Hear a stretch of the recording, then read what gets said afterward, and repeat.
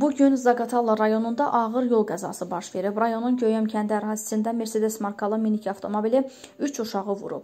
Minik avtomobilinin vurduğu 3 nəfər Göyəm kənd orta məktəbinin şagirdləri olub. Hadisə nəticəsində 2013-cü il təvəllüdlü Ramazan Babək oğlu İsayev və 2013-cü il təvəllüdlü Kamal Elçinoğlu Permadov qəzanın baş verdiyi yerdə ölüblər. 2013-cü il təvəllüdlü İbrahim Əzizoğlu İbrahimzadə isə ağır xəsarətlərlə xəstəxanaya yerləşdirilib. Onların hamısı eyni sinifin şagirdi olub.